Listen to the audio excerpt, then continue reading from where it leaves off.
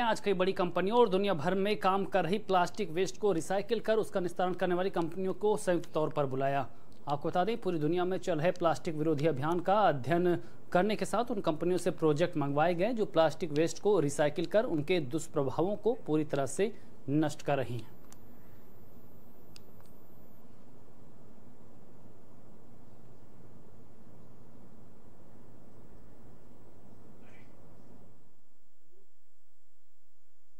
आज जो extended producer responsibility workshop है, यानी कि जो ब्रांड ओनर्स हैं, जो प्रोड्यूस कर रहे हैं, जो जो पैकेजिंग कर रहे हैं, उन्हीं की रिस्पॉन्सिबिलिटी एक तय करेंगे कि वो स्वयं जो पैकेट्स जिसमें वो बनाते हैं, वो बाई बैक करें और फिर से उन पैकेट्स को रिसाइकिल करके फिर से अपने यूज़ में लाएँ, ताकि कम से कम पोल्यूशन पैदा हो और लोगों को जो जिस तरीके से दिक्कतें हो रही वो दिक्कतें ना हो।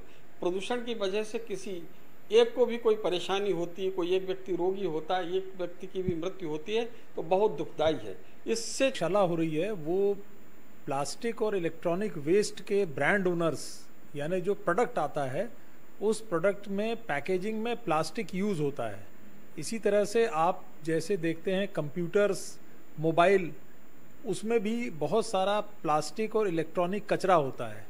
तो जब ये चीज़ें ख़राब हो जाती हैं तो इसको फेंक दिया जाता है और फेंकने के बाद ये कैसे प्रॉपरली डिस्पोजल इसका हो और कैसे रिसाइकिल हो, इस पर जो ब्रांड ओनर होता है, जैसे मान लीजिए सैमसंग मोबाइल बनाने वाले हैं तो ये उनकी रूल के अंतर्गत रिस्पॉन्सिबिलिटी है कि उनके प्रोडक्ट से जनित होने वाला कचरा का प्रॉपर कलेक्शन और डिस्पोजल वे ही करें।